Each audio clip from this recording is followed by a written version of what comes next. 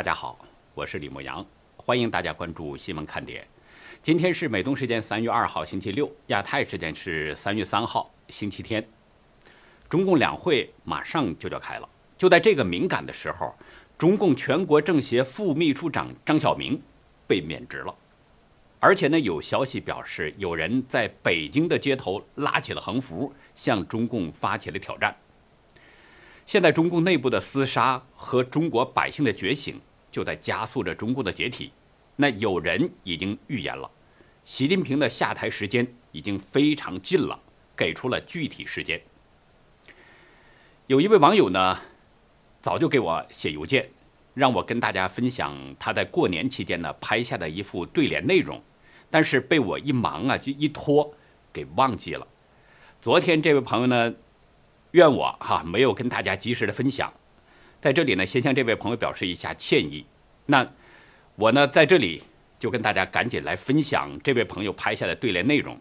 这个对联原本写的是恭贺新喜，但是大家可以看到。这家主人用毛笔重新又写了两句话：“恶习除之勿尽，余生方有可为。”这两句话的真实含义，那已经无需多言了，说的非常明白。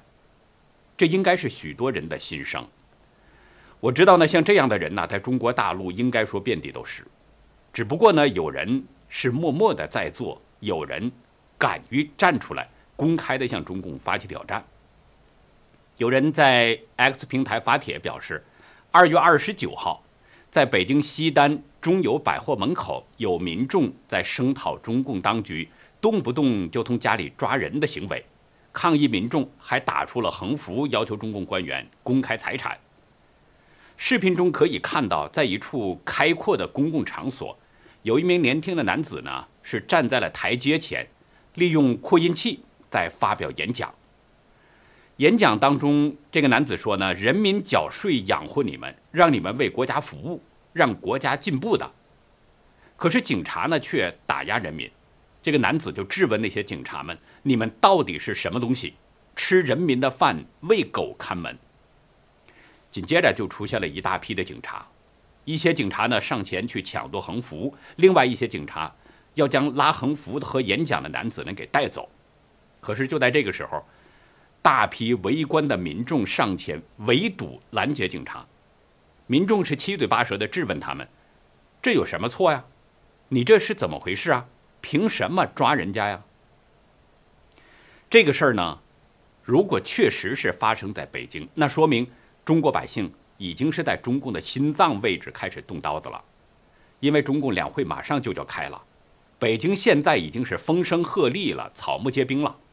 如果在这种严密戒备的北京街头发生这样的事儿，那么这件事儿的影响应该说不亚于当年彭载洲在四通桥挂横幅这个事儿。但是呢，遗憾的是我们没有办法去核实这则视频具体发生时间，也不能确定这件事儿发生在什么地方。我们根据演讲者的口音来辨别呢，不太可能像是北京市民的口音。而且根据他身后的那些所在位置的建筑物，以及街头的那种冷清的情况，估计呢也不像繁华的北京西单。不过这并不重要，我们要说的是重要的这则视频所反映出的问题，它反映的就是中国百姓的觉醒，人民敢于起身要求中共公开财产。而当警察在出面抓人的时候，那周围的人敢于正义发声，阻止警察行恶。中共一直对百姓是搞愚民统治，但在现在看这一招已经不灵了，这才是让中共深感恐惧的。目前我们看到的还仅仅就是这一部分百姓的觉醒，究竟有多少，现在没有办法去统计。如果全国的百姓都像这样的话，都有一个觉醒的态度，那就是中共要走向地狱的时候了。而如果在某个地方突然出现一股势力，勇于起身反抗中共，那带来的影响可能就更大，可能会加速中共进地狱的进程。旅居英国的中医大夫舒荣女士，出身家传六百年的中医世家，他不仅是深谙医道，而且对易学有独到的研究。他根据《周易》进行推算。二零二四年整个世界会战火四起，而且还会有新战火出现。特别他提到了要留意南方国家和南中国海这片海域。舒荣女士在新唐人精英论坛中表示，二零二四年中国内部政治上的战火也会升级，内部权力斗争会加剧，习近平会成为众矢之的，他的权力会进一步被削弱，而且南方有一股反政府势力会越来越强盛。不过，习近平在二零二四年，他认为可能不会下台。书中推算认为，二零二五年。习近平会出现一个很大的麻烦，他会失去权力，取代他的人很可能是体制内的人，但也可能是体制外的人。不过这个人刚上台的时候非常迷茫，不知道该往何处去，是抛弃中共呢，还是延续习近平的道路走下去呢？很快就会有高人出面来指点他，这个人就开始清除共产主义因素，随后呢，有更多的人帮助他。正义的力量都融入进来，把这些不好的东西逐步的清理，让整个社会回归到一个传统的清明的状态。书中表示，到了二零二九年的时候，基本上清除共产主义因素的工作就结束了。这个时候呢，大家可以回到一个正常的状态中生活，中国人才开始真的活得像个人，有道德、有尊严。书中女士的这个预言。我们呢，目前是没有办法去验证了，但是世界会战火四起，大家看当下的这个世界是不是跟她的预言比较符合呢？而中共内部的厮杀，我们知道从来都没有停止过，特别是习近平进入了第三任期之后，昏招连连，人心尽失，中共内部的厮杀变得是越来越激烈了。至于南方有一股反政府的势力，将对习近平形成巨大的威胁。那么，这个南方的一股势力，他没有说的那么具体。我们分析可能是南方的某个国家，或者是中国南部的某个地区。当然了，这里边不能排除台湾，因为台湾也是在中国的南方。不管是哪一种可能性，都会给习近平带来很大的麻烦，可能会成为推翻中共和习近平政权的新势力。至于习近平下台的时间，舒荣女士给出了明确的答案，在二零二五年，习近平会失去势力，会失去他的权力，中共会倒台，他的权力会被另外一个人取代。也就是说，习近平在中共党魁的位置上还有一年的时间，然后上来顶替他的人就开始清理共产主义因素。大家想，清理共产主义因素，这意味着什么呢？共产主义因素被清理干净了，那不就是中共彻底消失了吗？共产主义消失了吗？不就是中共在中国不存在了吗？那如果是这样的话，那么现在中共内部的厮杀，不就是中共在自我解体的这个过程当中吗？下面的内容呢很精彩啊，但是我先给大家呢讲一个小故事。大家知道清朝最长寿的皇帝就是乾隆啊，活了八十九岁。据说呢，这个乾隆啊有一个长寿仙方叫龟苓集，里边主要的有一味药就是鹿茸，他呢每天都吃。李时珍在《本草纲目》中对这个鹿茸也有过描述：补肾壮阳、生精益血、补髓健骨。过去呢，皇帝啊才能吃上鹿茸，但是您现在就可以吃得上。韩国名医李金载，他是研制的这个鹿黄鹿茸丹，是将新西兰的鹿茸和韩国的灵芝、当归等二十九种传统中药和食材研制成的，具有补血、抗炎、增强免疫力和提高机体活力以及抗衰老、氧化等等功效。虽然价格不低啊，原价是四百美元哈，即使您呢用我的折扣码享受八五折优惠，也需要三百四十美元。但是我们发现，现在买的人呢仍然很多，这就说明好东西呢还是有市场有需求呢。所以我再次推荐给您哈，无论是买了送给父母、岳父母，或者是自己服用，都可以，所有的年龄段都可以服用，而且一年四季都可以食用。这个味道呢很浓啊，因为这款产品呢很稀少，我们呢现在只能是预售哈。我手里的这一款呢是样品，您如果需要的话。但是现在可以去购买，而且还需要抓紧下手，否则呢又没了。不能上网的朋友，您可以拨打我们的客服电话哈，就在今天视频的下方。从周一到周六的早九点到晚九点这个阶段当中，您都可以打电话，有专人呢会为您下单。我们呢还接着来说我们的话题。今天呢突然爆出了一个大消息，张晓明被免去了中共全国政协常委会副秘书长职务。不过呢，央视新闻联播当中仍然是以同志。来称呼张晓明，以同志来称呼他，并不代表着没有问题。大家知道，全国政协副秘书长，这是正部级，正部级的官员，退休的年龄是六十五周岁。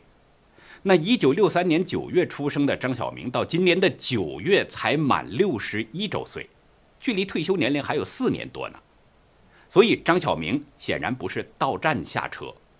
特别是现在中共两会马上就召开了，这个时候免去他的职务，那就更凸显出这件事儿相当诡异。本身张晓明在这个政协任职就已经是在虚位虚职了，那还有更虚的部门去安排张晓明吗？这挺难想象的。那么他会不会直接被踢回家呢？甚至会不会将他直接踢进秦城呢？所以我们得看看习近平下面会怎么安排。公开资料显示，张晓明是江苏泰州人。一九八六年呢，开始进入到港澳系统，曾长期担任原港澳办主任廖辉的秘书。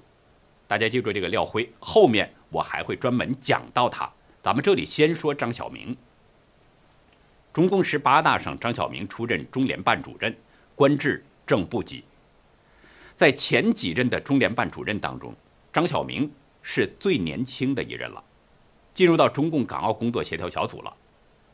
二零一七年九月呢，五十四岁的张晓明出任中共国务院港澳办主任，并且进入了中共的十九届中央委员。但是，到了二零二零年二月，中共将港澳工作协调小组升格为领导小组，新领导小组办公室主任由习家军成员、全国政协副主席兼时任秘书长夏宝龙来担任。而张晓明被免去了港澳办主任职务，改任分管日常工作的副主任、党组副书记。虽然仍然是正部级啊，但是张晓明显然已经是不被习近平看中了。二零二二年六月，张晓明的职务再次被调整，任全国政协副秘书长，排在常务副秘书长之后。尽管还是正部级的级别。但是全国政协本身就是一个花瓶机构，所以张晓明这个新职实质上是被贬值了。同年召开的中共二十大上，张晓明又失去了中央委员的资格。翻看张晓明从二零二零年以来的这个职务变动，虽然是保留着正部级，但是呢，他却经历了一个波峰浪谷，从正职变成副职，又从副职变为闲职，经历了这么一个过程。而这个过程毫无疑问是出自习近平的安排，这是在对张小平一步一步的进行羞辱。一方面啊，是张小明本身有贪腐问题，早前呢，张小明就被人举报，他在任中联办主任的时候，大量吸金，而且要价很高。据说在二零一六年的时候，张小明曾写了一幅字，被亲共的政协委员高敬德。以一千八百万港元买走了。张晓明还被举报与华润宋林深度勾结，从中捞取大量油水。张晓明本人特别爱收礼，比如像名人字画呀、贵重物品呐等等。据说呢，他收了好几颗贵重的石头，当时的市值就是二十多万。另一方面呢，是张晓明在任中联办主任的五年当中，经常假传圣旨。歪曲中央意思，张晓明啊，他经常以中联办代表中央为由，插手香港的各种事务，并且勾结江派特首梁振英，炮制假港独议题，配合江派搞乱香港。据说呢，习近平对张晓明的做法相当不满，所以在十九大前将他调离了中联办，转任港澳办主任。可事实上，这是一种明升暗降。这个做法就跟拒绝梁振英连任、改任中共政协副主席的虚职是一样的。习近平反感张晓明，这个往前追溯可以追到二零一四年。当年香港爆发了长达七十九天的占中运动，这场合理非运动呢，被张晓明定性为是违法的。他在一次回应记者提问当中说：“太阳照常升起。”声称占中运动呢是发生在香港的颜色革命。张晓明的这些说法明显是在故意的激怒香港社会。到了二零一五年，在一个研讨会上，张晓明又发表了“行政长官超然论”。他声称行政长官具有超然于行政、立法、司法三个机构之上的特殊法律地位。我们知道，中共啊一直都在这么运作。但是像张晓明这样把黑箱作业拿到台面上公开来讲，当时在香港，同样引起了各方激烈的反应。不过，真正引起习近平愤怒的还是2016年的一件事儿。当年的七月啊，美国的新唐人电视台准备在香港主办全世界中国古典舞大赛亚太区初赛，已经呢租好了场地，就等着比赛日期到了。但是，中共却发动了香港青年关爱协会，简称青关会，等等这些八个外围的红色组织，以长时间占领旺角的方式对舞蹈大赛进行干扰，最终使租借场地方在压力之下单方面取消了合约，舞蹈大赛最终是临时转移到了台湾去举行。据权威人士透露，在当年六月份呢，中共是两次施压乡议局。要求取消租用比赛场地，而幕后的始作俑者就是时任香港特首梁振英和时任中联办主任张晓明。第一次施压事件是梁振英的亲信、乡议局副局长张学明主动向张晓明汇报，然后中联办就下令取消租约。第二次施压，直接就是张晓明控制中联办在幕后组织协调的。他动用江泽民和曾庆红派系在香港的地下特务组织系统，支持香港青光会等等这些中共的外围组织，直接去干扰。这起事件惊动了当时的中南海高层。据说举报张晓明和梁振英的信件多如雪片。就在两个月之后，当年的九月，时任中纪委书记王岐山掌控下的《香港城报》是连续发文。猛批梁振英和张晓明是乱港祸首。当年十二月，习近平又派出密使南下，暗中布局香港的人事安排。一方面是阻止梁振英连任，给他弄到了一个明升暗降的虚职，就是全国政协副主席；另一方面呢，是要撤换掉张晓明的中联办主任职务。不过当时具体实施。只是阻止了梁振英的梁任，并没有立刻处理张晓明。为什么呢？因为当时的香港已经被张梁这两个家伙给严重撕裂了。习近平呢是希望张晓明擦擦屁股再走人，收拾乱局，因此呢对张晓明的处理就延后到了二零一九年的中共十九大前。张晓明等人故意搞乱香港，据说呢习近平是相当的生气。生气的原因并不是说习近平真希望香港能够自由安定，这个倒不是，而是因为张晓明等人背后的势力是明确在针对习近平。有一位在香港的红二代透露，那些人故意制造乱局，目的就是要逼迫习近平下台。二零二零年的八月，美国财政部寄出了制裁令，对十一名损害香港自治的。陆港两地官员进行制裁，其中就包括张晓明和时任香港特首林郑月娥等人。但是在二零二一年的三月，中共国务院新闻发布会上，张晓明表示对美国的制裁深以为荣。所以就从那个时候开始啊，有人呢就认为习近平迟早会清算这个张晓明，张晓明落马可能只是一个时间的问题。因为习近平不可能受这口窝囊气。不过，在搞乱香港这件事儿上，其实张晓明充其量也只是一个具体的实施者，他是被人操控的。前面呢，我们一直说是江曾派系，江曾派系是整个乱港事件的总后台，而中间是有人在对张晓明发号施令，这个人就是我们前面提到的廖辉。所以，习近平现在踢走张晓明，表面上是。在打张晓明，但这很可能是在隔山打牛，针对的可能就是张晓明背后的廖辉。已经年过八旬的廖辉是前中共政治局委员廖承志之子，他曾经是任职中共全国政协副主席。这个人是被江泽民和曾庆红一手提拔起来的官员，尤其是跟曾庆红两个人私交甚密啊，他是曾庆红的铁杆心腹。有香港人呢，曾经形容这个廖辉说：“这个人不学无术，为人心狠手辣。”从1997年香港主权移交开始，曾庆红就把廖辉设在了香港，成为了香港的特务头子。在随后到2010年的这十三年当中，廖辉一直是任中共港澳办主任，他是掌管港澳工作时间最长的官员，直接向曾庆红进行汇报。在这一段时间当中，廖辉在香港是培植安插了大批自己的势力，其中就包括梁振英和张晓明。在廖辉任港澳办主任的第一年，就对张晓明进行了提拔。那随着廖辉的官位升迁，张晓明也是随着水涨船高，并且成了廖辉的得力秘书。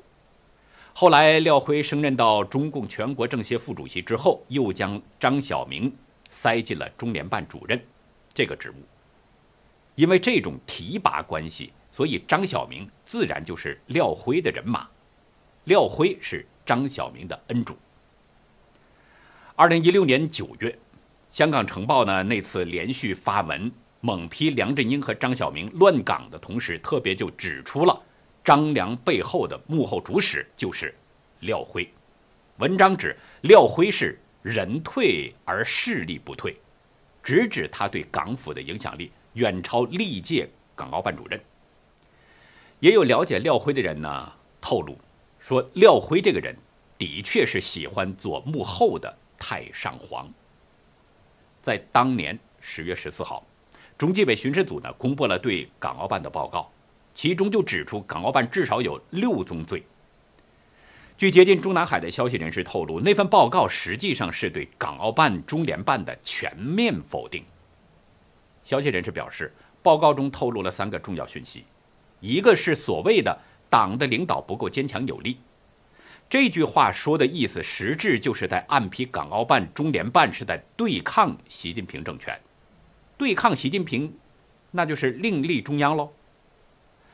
第二呢，就是选人用人不当。这个说法就是在批评港澳办和中联办在动用特务势力撕裂香港社会。